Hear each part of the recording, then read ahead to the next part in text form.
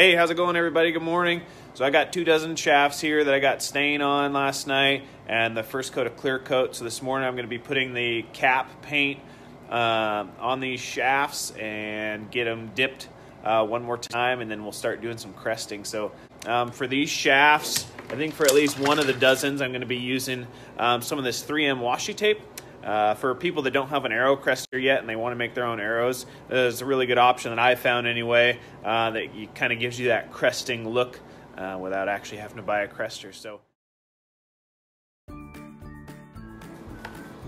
All right, so once I put my first uh, coat of a clear coat sealer on these, all the grain um, will raise up. Um, and so what I do after my first coat, actually after every coat, is I'll just knock those uh, raised fibers down with a uh, green Scotch-Brite pad, and that gives me a nice smooth surface to either crest or in this case, I'll end up uh, painting on my cap paint, which I'll do next year. So I'll get all these sanded down, um, and then we'll move on to the next step.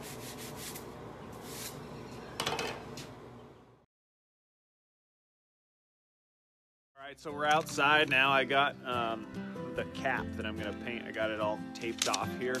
Uh, made a few marks on each of the arrows. Just posted a picture of that. Uh, so the next step now is I'm gonna paint these. I'm gonna do two coats of paint. So the first coat uh, will be a pretty light color, or excuse me, a light coat, um, just so that I don't get any runs or any bleeding of the paint. So we'll get one coat of paint on here. We'll let them dry. Luckily, spray paint, um, which I use for all of my cap paints. Uh, spray paint dries pretty quick, so here in 15-20 minutes, uh, 30 minutes, we'll be able to come back and put another coat on, uh, as long as it doesn't rain. So what we're looking to do here is just a couple light coats of paint. That's it. I'm not looking for 100% coverage, just looking to get a nice coat started there.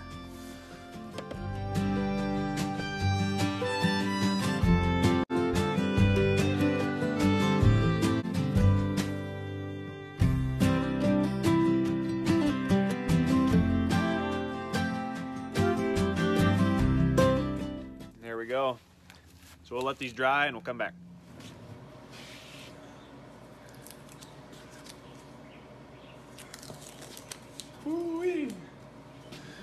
Nice clean lines.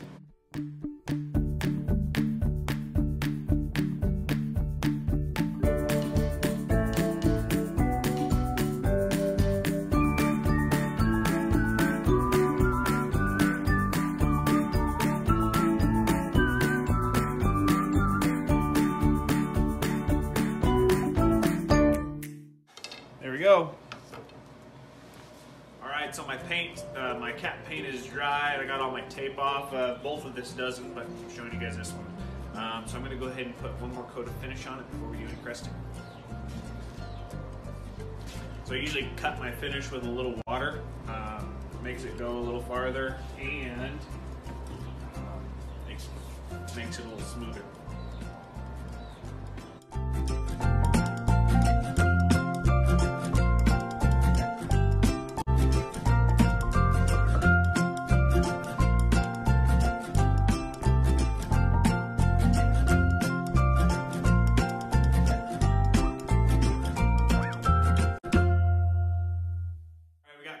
Two done. I'll do a, just a light sand. These are pretty smooth now, uh, but I'll do a light sand and we'll get cresting.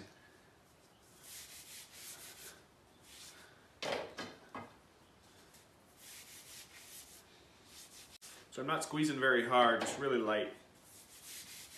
Just trying to knock off any high spots. These are feeling really nice. Nice and smooth.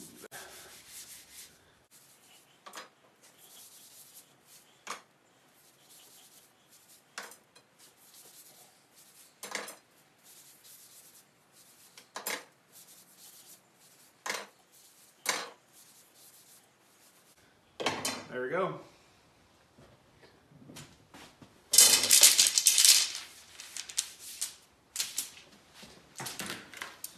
All right, so like I was saying earlier, uh, for this set of arrows, we are going to be using washi tape instead of uh, actually painting on, hand painting, or hand cresting these arrows. Um, so these arrows, I uh, we went through. I got my cap paint on there. They're stained. I've got two coats of seal on them so far. So this washi tape is just tape. Um, there's a couple tricks to putting it on so that it looks the best. Um, but it kind of gives it that cresting pattern. So we're going to do two strips of it on each shaft. So we're going to do a, a piece at the transition here and a piece at the stain transition here as well. Um, the biggest key in doing this is tapering the uh, tape. So you don't want to cut it off square. You actually want to cut it off at an angle and that will kind of make the transition of the tape seam uh, seamless.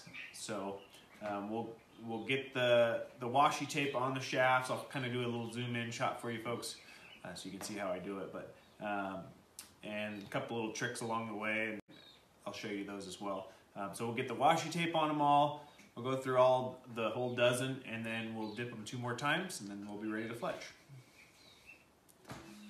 All right, so we're gonna start with this washi tape here. Um, you can see the, I've already got an angle started on this tape. Um, so because I started all this paint uh, on a pencil line, I know that they're all consistent. So as long as I start all these washi tapes in the same spot on each shaft, I should have a consistent product. So I'm gonna overlap the first black line uh, with the shaft here. And then I just kind of pull tight. Give myself about a wrap and a half so that it's a consistent product. And you can see there's the end of my wrap. So I've got about a quarter of a wrap extra. And I'm gonna keep wrapping that around until I have a tail. And then I'll take my Duco cement I'll put a little dab of Duco. And then as I twist this, that Duco will kind of spread out. What that does is it, obviously it's gluing that tab down. Um, but when I dip this shaft, um, I learned this because as I was dipping the shafts originally before I did that, um, the wetness would unstick the glue uh, of the sticker itself and then I'd end up with loose wraps.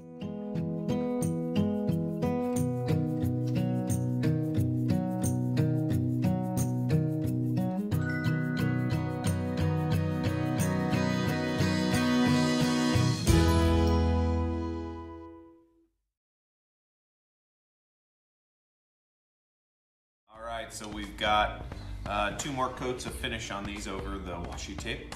Uh, so the next step in the process is to put our nocks on so we can start fletching. So um, because we hung these um, nock taper down, uh, the finish just kind of created a little bump at the, the nock end here. So I'm just gonna take my X-Acto knife and trim off that little glob of finish on each shaft. And that'll let our nock sit down nice.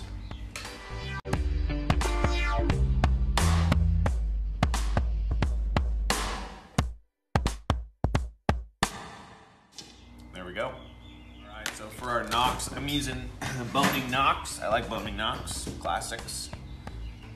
Uh, pretty simple process. All we gotta do, my Duco cement here. I'm just putting a little ring of Duco in there.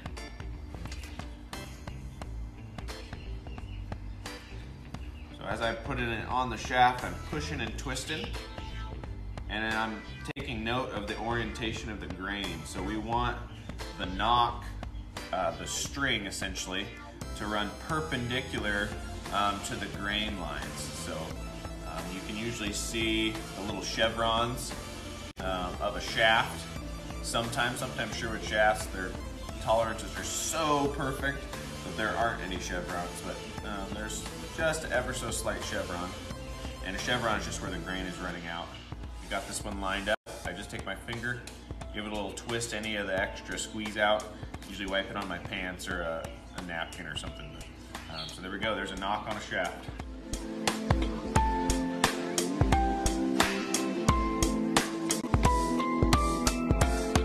all my grain lines um, running this way. Here's the other sides of them here. Um, and on the end or the top of this shaft, can see there's just one spot where the grain has ran out. So this shaft is a really nice shaft. And again, on this side, it doesn't run out at all. So, but if you look for the grain lines, grain's running this way, so that I want my string to run perpendicular to that. So that's why I got my nock set now.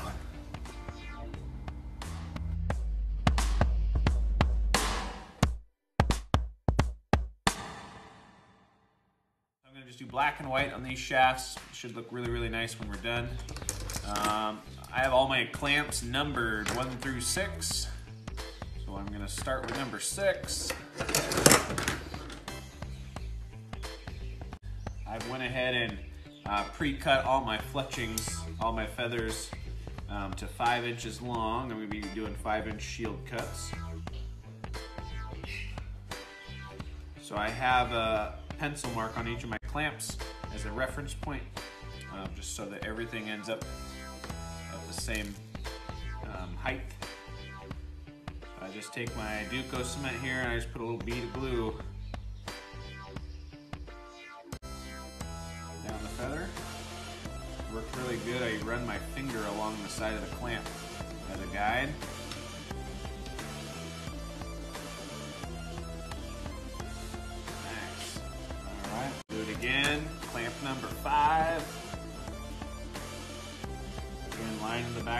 Up with my pencil mark.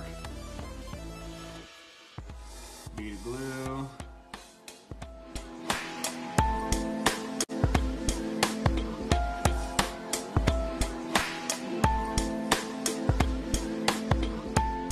Making sure the whole quill is laying down on the shaft. Looks great.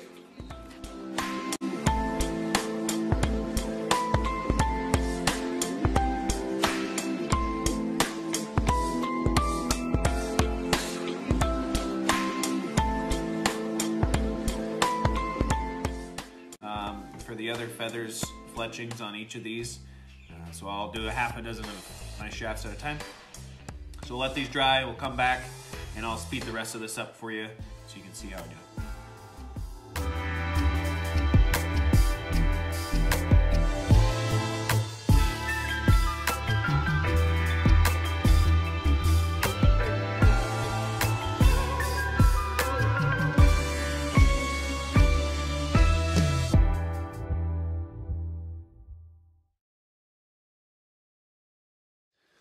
All right, so we've got all of our arrows fletched here. Uh, I've got the young feather trimmer warming up. Uh, we're gonna get to burning. I know this is everybody's favorite part. Everybody seems to comment a lot uh, saying they like watching feathers burn. So that'll be the next step in the process. These are arrows are almost done. They're looking awesome. So keep watching.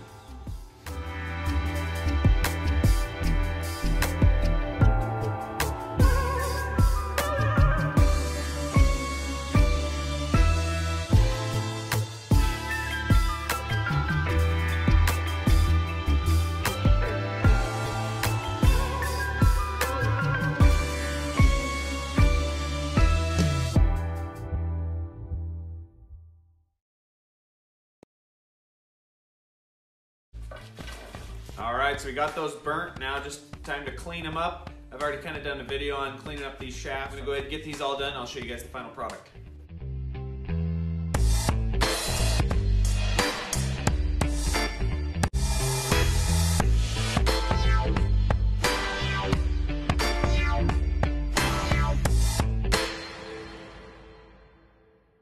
All right, so once I got these uh, arrows cleaned up um, and the smoke stains removed, um, this is my last little piece of the pie. This is my last little piece here. Um, I give all the feathers a little taper with my X-Acto knife here. Makes for a nice transition. And I'll end up putting a dab of glue on those. So we'll go through all of them here.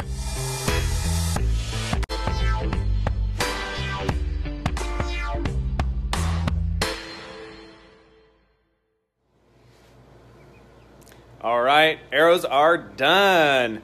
This was a really fun project. Uh, the intent was to show everybody that you can make cool arrows without an arrow crester. Um, you can also, you know, buy pre-chopped feathers to whatever shape of feather that you want. uh, without using a, a, feather burner like I was using in my video. But uh, let's take a look at these arrows. They turned out nice. That washi tape adds a nice touch. Feather burner did pretty good.